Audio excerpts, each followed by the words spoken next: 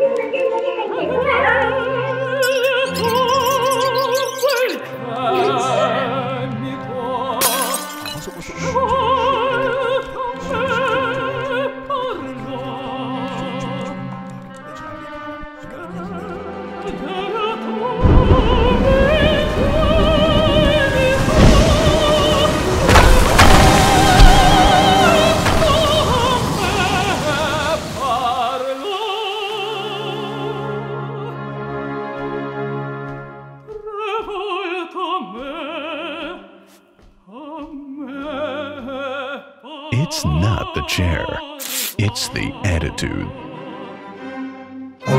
Toduck, breaking the limits.